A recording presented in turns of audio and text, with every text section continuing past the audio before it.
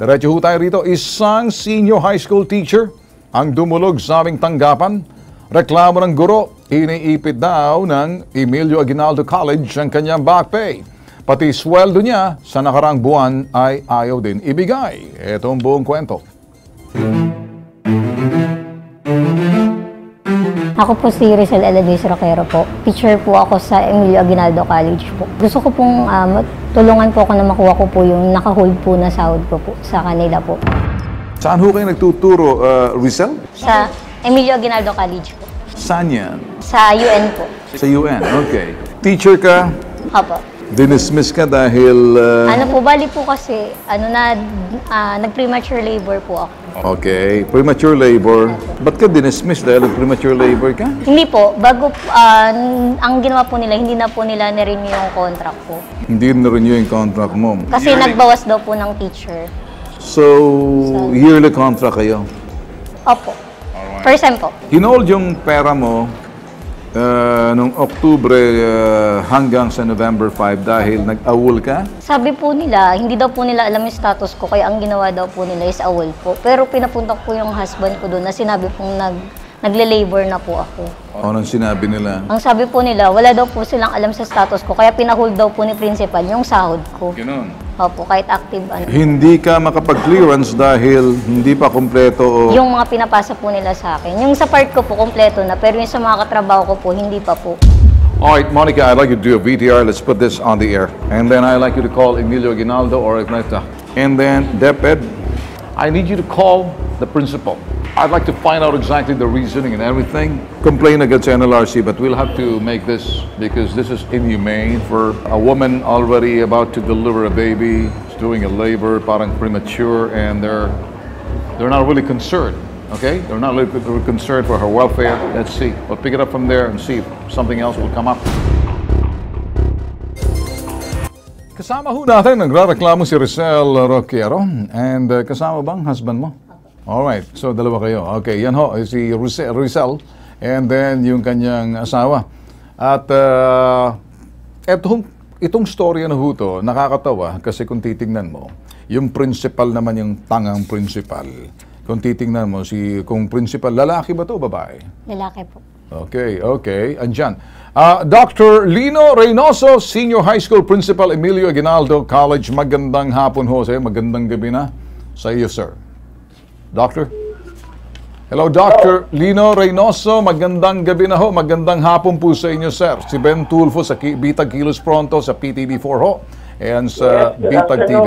Good afternoon. Good evening. Ah, good evening na, sir. Ma'am, ma'am. Sir, lumapit ho sa amin yung isang teacher ho ninyo, si Rizal Roquero, saying na meron pa raw siyang back pay na natitira sa eskwelahan ninyo, kaya lang you don't want to be, well, uh, interfering in this issue kasi hindi niyo raw alam yung issue, pero sinasabi niya, nagle-labor na raw ho siya, sir. Hindi siya nag-awol at pumunta pa yung asawa niya sa inyong eskwelahan para lamang ipaalam sa inyo. Ngayon, ang sweldo niya nakaraang buwan, ayaw raw ibigay. Eh, sir, masyadong un-Christian naman siguro to. If this is true, I mean, eh, can you explain to me, sir? Okay, sir. Ganito po yun. Uh, Ms. Rachel has uh, received so many complaints from the students because she was not coming to class regularly. Okay. So then uh, she has received uh, several memorandum from the team leader, from the coordinator, Mm-hmm. uh, from non-compliance of submission of lesson plan and the other requirements. So, yours... Stu- students are saying that she's not coming to class. So All we right. verified. All right. And we saw it's really true. So Alright. the team leader of Filipino department talked to him, to her. And then uh, when I talked to her, because it's one month before the end of the semester, kasi senior high school po yan, Mm-hmm. so I told her, Miss Rachel, I think we cannot renew your employment with us next semester. Then the day after I talked to her, that was October 24, 25, she was out na. All right, sir. Can I ah. start talking now? Okay. I don't have any question or I don't have any issue where you don't have to renew her contract, and that's Yes. within your rights as as far as whatever your decision is concerned. My concern and my issue here is, sir, is about what about the back pay? What about the, the payment that you're supposed to pay her for this duty the services rendered. No, she she has to report to the HR. Well, uh, sir, sir, okay, sir, sir. You know, let's let's with the requirement. Yeah, yeah. Okay, submit. sandali sir, sandali, no? Sir, nandito ho kasama namin ang inyong prince, uh, teacher. Ngayon, sinasabi niya, siguro sir, maintindihan niyo man, galing tayo sa ating mga nanay. Pag ang nag-labor ho ang nanay, naturalmente, hindi makapasok. Pumunta pa ho yung, yung, ano, yung kanyang husband sa inyong eskwelahan para ipaalam. Kaya lang somebody says, we're not concerned about your issue and as far as we're concerned, you're no longer hired because your services is terminated. We don't have any issue on that. Nag- Nag-i-English na ako sa inyo, sir. Maganda siguro magtagalog na lang tayo para nagkakaintindihan because we can go any further if you want. Ang gusto ko lang ho sabihin, where's the due process? I think uh, You that think the what? salary is with our HR. Why can't you just give her the salary? Because that's a must, because the service has been rendered. You can fire her after that. You can dismiss No, her. no, sir. But the But question you know- that I'm saying, sir, pumasok na ho rito yung National Labor Relations Commission. And we Sir, will... is- me- Can, can I say my, my point? Go ahead. Okay. Miss Richelle Roquero went to the Dole last week. Did she tell you that? Yes. She went to the Dole and the Dole arbiter said, uh, comply with the submission of the grades. Do you know that we were delayed in releasing our semester grade because she has not submitted her grade for all her classes? There's no problem. The school will release to her all Okay. her dues, All all right. the fees due All to right. her. All right. But we are waiting for the grades of the students. All right, sir. San- are waiting All right, for sir, her. just a minute. Let's give the teacher a chance to explain. Ikaw naman, teacher. Saan yung sasabihin mo? Nagpasa na po ako nung Thursday pa po. Then, tinanong ko po si Sir Francis nung Friday. Ang sabi po niya, wala pang pinipirmahan si Doc. Doc! grades. Kayo pa lang wala pang pinipirmahan. Nakasubmit na, na ng la- last week pa raw, sabi ni, ni teacher. Narinig mo yan? Ere ho tayo ngayon. Nationwide, worldwide, napapakinggan ho tayo. Pati DepEd, pati yung sinasabing Department of Labor. Uh, it is within the right of a teacher to complain to the Department of Labor because this is a labor problem. But then again, kinumply niya ho yung requirements for her to be cleared and the given, you know, you, you ought to give her the pay. Now, kung sinasabi niyo hindi pa na-comply ang requirements, can you check Mr. Lino, Dr. Lino Reynoso, yung sinasabing requirements that she just complied with? Sir, can we can we clarify that? Yes. She did not comply. The compliance is she has to encode the grades in our system. She has to encode. Okay, si husband Yeah, naman. what she did, she Okay. left the class record. What do we do? She will ask me to encode for her. Ako na lang She Okay, sige, ako na, ako- ako na, ako- ako No, no, no, no, no, no. It's a, si, si, si, si teacher. You're not involved here. You're the husband. Now, speak up, Ang teacher. sabi po kasi sa akin ng STL ko po, siya na raw po yung mag encode sa AIMS. Sino may sabi? Ano? yung no, I si ano po, si Dr. Enaluna po.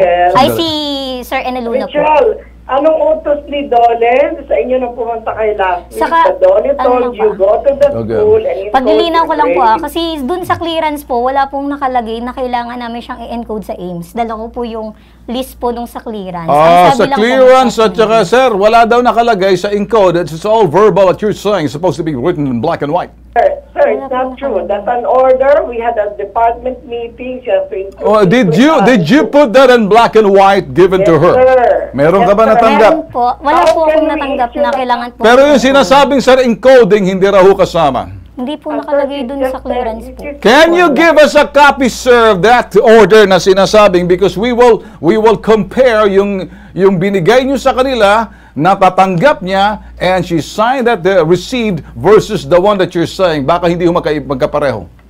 Sir, but how can we issue the grade if she will... No, no, no, no, no, sir. Yung, yung requirements muna kasi question dito. The grades come after, the grades come after the fact na nag-comply siya. And then after compliance then, you should release her pay. So in the meantime, After she has encoded the grade... well, yun nga sir ang sinasabi namin sir eh. The grade, the, the, the ones encoded, eh, encode whatever it is, on the system, was it written in black and white as part of the order? But sir, who will encode that? No, no, no, no, no. If it's if it's if it's I written there, I think, sir. I think if it's written there, then I will comply her Well, to do it. I will Sir, obligate her to open- comply with. I cannot open her own uh, system because she has All right, own may system ka ba? Na, Na sinasabi, lock cannot open her system. Naintindihan mo kung sinasabi nito? bali po nalaman ko na lang po yan nung nakausap, nakausap ko po si Sir Enaluna nung Thursday. Inaluna. Opo. Okay, ano yung SPL sinasabi? ko po. Ang sabi po niya, kailangan daw po yung employee ID ko. Employee number ID, para maka-access ka. Sa system daw po. Ayun, employee ID for the system, sir. Do you have employee ID? Number po, meron po. Number lang. Opo, Sa- ID number po. employee ID number. po. So, kinakailangan mo yun para maka- makapasok ka sa system. Mm, Opo. Pero ang sabi po kasi ni Sir Eneluna po, bago po ako mag-labor, siya na raw po yung mag-encode sa system. Ah, okay. Siya na lang for you. Opo. Kasi nakompleto mo ng requirements. Opo, ng first quarter po. First quarter. Okay, ganito siguro. Sir, we're, we're here to solve the problem, not to create another problem. Ang trabaho huy natin para masolve ho yung problema, hindi dagdagan ng problema. Ano hong kinakailangan gawin? I think, sir, there's no problem for as long as she encodes the grade. I Ah, hope- so, so, go, gusto mo talaga, sir, pahirapan, i-encode lang for your personal gratification and personal satisfaction. Is that what you're saying? Remember, it's not my personal gratification. Unless otherwise you can prove it in black and white, then it's your personal gratification and a personal satisfaction.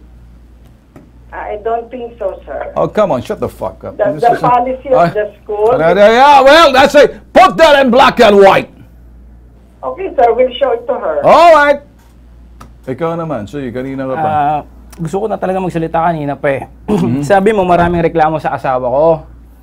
Tatanong ko sa'yo, nasa na yung resolution tungkol sa pagnanakaw ng flash drive namin nung June pa?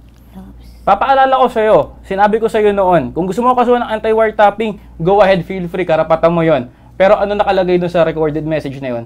Yun yung usapan natin, nagalit na galit ka sa asawa ko. Ano ang sabi mo sa asawa ko? June 4, nag, nagpunta kami ng HR? na possible buntis yung asawa ko? Ano sabi mo? Magiging problema ka lang sa amin pag uma-absent ka. Sino magsasubstitute para sa'yo? Lahat ng lahat ginawa mo sa asawa ko. Alam mo yan. Alam natin yan. Nag-extortion. Nag-extortion ng mga kasama niya sa Filipino Department. May ginawa ka ba? Hinarang nyo rin. Lahat hinaharang ninyo. Sasabihin mo sa akin ngayon, sasabihin mo sa amin ngayon, na may keso, may kaso yung asawa ko, ganito, ganyan. Now, the question is, na-action na mo ba yung complaint laban sa inyo? Papaalala ko sa'yo, kinampihan ka ng President's Secretary nung panahon nagkakaproblema tayo.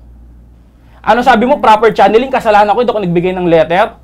Nagpunta ako ng HR, nagpunta ako, kausap ko si Eneluna. Yan. Kayo dapat ang nagsasabi sa akin kung anong kailangan kong gawin kasi polisiyan nyo yan. Ano sabi sa ni Estayan nung pinatawag, pinatawag mo siya? Ano sabi sa ni Estayan? Ipatatawag ko ba siya, sir? Ipapatawag ko ba yung asawa ni Mrs. Roquero? Ano sinabi mo? Wag na. Tapos bandang huli, ako sisisihin mo. Tama na, tama na. Mo na. Dr. Lino Lahat. Reynoso. Uh, sir, I don't think I have to give comment. He is not my employee. All right, but there was a conversation between you and, he, and him. That's why he's only vouching. No, no, vouching. sir. I'd like to inform you that he was once reprimanded by the school kasi nang, no, may ginawa siya sa loob ng school. They know that. Well, what's he talking? What, what, what- what's the, the now on the issue of the white topping? the issue on the issue of white topping, what is this white topping all about? What word topic is Ano he talking mo? about? I don't Ano ho kasi, June 4, nung same day na ninakaw ni... Huwag ka- huwag ka magbigay ng pangalan. Okay, nagdakaw, ninakaw yung flash drive namin mag-asawa June 4. Mm-hmm. Same day na sinabi ni HR na binastos siya na ma'am problema lang yan, nabuntis ka. Sinabi niya explicitly, si principal, mag-ausap sila. Ito, Mag- si, si Lino. Yes. Okay, Sabi si niya Lino. sa asawa ko, magiging problema ka lang sa amin, lalo na sa akin, lalo na pag absent ka dahil buntis ka. Lalo na pag nanganak ka, sino magsasab sa'yo. Yun ang sinabi niya. Uminit ang ulo ko, oo, nagpunta ako ron. Okay. you know what? I don't blame you because you're the husband. That's the way to stand up for the wife. Hindi ka pareho ng ibang mga duwag na mga lalaki. Half a man who doesn't want to, you know, uh, uh, well, defend the wife. Do you understand that, Dr. Lino? Yeah, but I don't think that... I don't think that you understand that. Yeah, I understand that that's not the issue. Unless you're a husband, you understand that. Are you a husband? Yeah, Really? But I'm not... That's not the issue, sir. Now the issue because he's defending his wife. I'm here... That's the way, you know, a husband will. I defend his wife to death. Publicly, okay? All right, now I'm saying here because, hey, we're talking. We can raise our I voice. think what you're talking to, what telling me now Mm-hmm. is not within the confine of my job. Okay? Okay. So you're asking me about the pay of that girl. Okay. What I want, sir, is go back to the school. Okay. When she talked to the labor, the labor told them, go to the school and follow the policy. All right. So in other words, what you're saying now is that she Okay, has to the she has to she has to abide by that in coding the grades on the system. The press the question: Can she access now the fact that she's no longer in your school? After, sir, after she has encoded the grade, I don't think there will be a Would you would you let her go to school and encode a grade?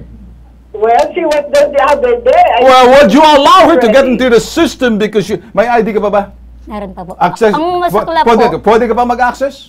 yun po, tinatry ko pong Yes. i-access yung Hindi naka-access? pero hindi po ma-access. Okay, hindi siya maka-access because no longer Hindi po.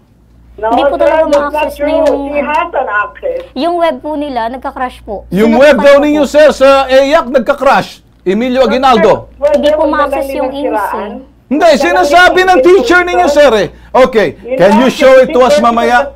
Okay, sir, ganito na lang. Ano, kami si Bitag Investigators ho sa, sa media. I'm not here to engage argument with you. I'm here to solve a problem. Either you're part of the problem, you're part of a solution, or part of a solution or problem. I think you're here to solve the problem. I think there was a deception from your staff. Your staff told me that I will not be on air today. Well, you're, you're on the air. That's We're, we're, we're on the air. That's for the sake of transparency be because there's a complaint. No, Okay, so what's the point? but she's deceiving me. No, there's not deceit. Hey, we're transparent worldwide, nationwide. What are you talking about? Is there any deceit Sorry, here? I don't like to argue, sir. Okay, because there's no way for you to I- argue I with me. All right, goodbye. See you tomorrow. Adios. Get out. All right, tapos. Yun You just yung- access, pupunta ka ngayon, sasamahan ka namin. I hate people are scumbag talking that way. Principal, it says he's a husband. Give me a break. May ba yan? Meron po. Don't say anything. All right.